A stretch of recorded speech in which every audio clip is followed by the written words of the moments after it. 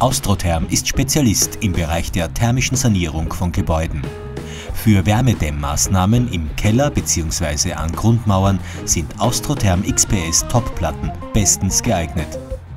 Die wesentlichen Eigenschaften oder positiven Eigenschaften des extrudierten Polystyrols sind die Druckfestigkeit und die Wasserunempfindlichkeit. Äh, vor allem in den Bereichen, so wie hier, in Kellerbereichen, wo es feucht ist, vielleicht von unten Feuchtigkeit kommen kann oder auch im Schadensfall, was wir nicht wollen, äh, Feuchtigkeit von oben, Wasserrohrbrüche oder sonstige Dinge, ist das Material nicht empfindlich gegen Wasser ja, durch die geschlossene Zellstruktur. Äh, die Druckfestigkeit, wenn man sich vorstellt, ist bis zu bei diesem Material bis zu 13 Tonnen pro Quadratmeter. Das bedeutet, auch in, im Falle der Verarbeitung, äh, wenn alles schon verlegt ist, ja, ist es möglich, auf den Braten ohne Probleme herumzugehen, ja, ohne dass sie zerstört werden können oder auch Dinge zu lagern, bis der Esstich gemacht wird.